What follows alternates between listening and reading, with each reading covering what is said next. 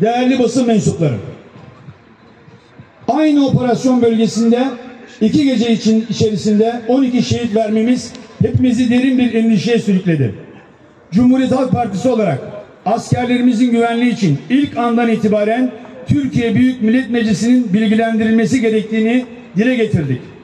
Bütçe görüşmelerini sürdüren meclisimizin derhal bir kapalı oturum yapması ve Milli Savunma Bakanı'nın Gazi Meclis'e gelerek milletvekillerini bilgilendirmesi gerektiğini söyledik.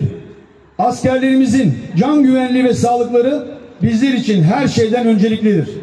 Askerlerimizi tehlikeye atacak bir güvenlik zafiyeti olup olmadığını, askerlerimizin can güvenliğini ilgilendiren kararların doğru bir şekilde alınıp alınmadığını takip etmek en önemli sorumluluğumuz